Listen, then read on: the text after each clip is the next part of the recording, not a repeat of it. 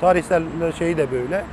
Ama son tabii örnekleri önemlidir. Yani e, işte özellikle Kobani Kumpas davasında e, Diyanet İşleri Başkanlığı'nın işte camilere de zarar verildi e, gerekçesiyle Kob- Kobani davasına müdahil olma isteği tam da aslında devletin ya da sistemin ya da iktidarın bu toplumdaki dini hassasiyet, hassasiyetleri de kullanarak bunu da Diyanet İşleri Başkanlığı e, adı altında kurumsallaştırdığı aslında kendi e, bir e, e, yan koluyla dini nasıl hem hukuka hem siyasete alet edildiğinin hem de toplumsal alanda toplumun dini duygularıyla nasıl oynandığının da en büyük resmidir. Yani bu açıdan olaya baktığımızda e, evet Türkiye'de son dönemlerde ilkler yaşanıyor.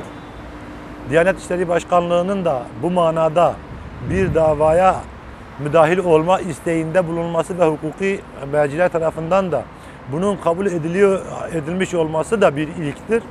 Ama hakikaten bu ilklerin bu toplumun geleceğine, bu toplumun e, hem e, dini duygularına e, hem bu hukuk sistemine olan güvenine hem her, herkesin gerçekten adalet duygusuna ciddi zararlar verecek bir adım olduğunu bu açıdan e, yani bir ilk ol- olmakla birlikte içinde ciddi tehlikeler barındıran bir ilk olduğunu da esasdan vurgulamakta fayda var.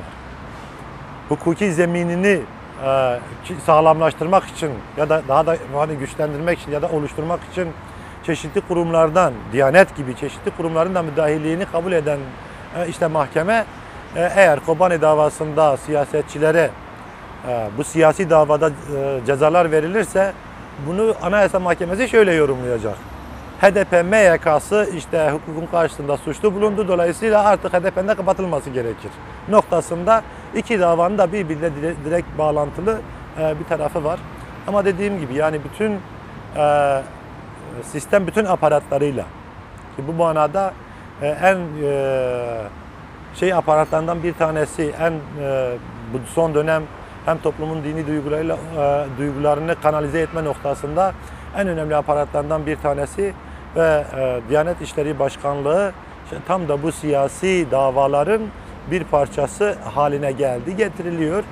E, bunu e, bu da gösteriyor ki Diyanet İşleri Başkanlığı e, dini bir kurumdan ziyade e, sistemin e, ideolojik aparatlarından bir tanesidir. Diyelim ki Diyanet e, Diyanet gibi bir kurum e, sonuçta e, mefku, kendi mefkuresinden yani kendi zihin dünyasıyla birlikte e, esas beslenmesi gereken e, zeminin e, dini kaynaklar olması gerçeğini hepimiz biliyoruz. Ama bakıyoruz ki Diyanete kadro e, yetiştiren ilahiyat fakültelerinin bile müfredatı YÖK'e bağlıdır.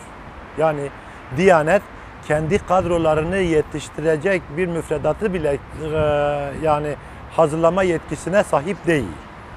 Bu açıdan Diyanet'in yapısı e, kendi içerisinde ciddi e, yani dışarıdan bakıldığı işte ilk e, Diyanet İşleri Başkanlığı denildiğinde akla gelen işte din işlerini e, ile ilgilenme meselesi noktasında ciddi handikapları var, ciddi sıkıntıları var.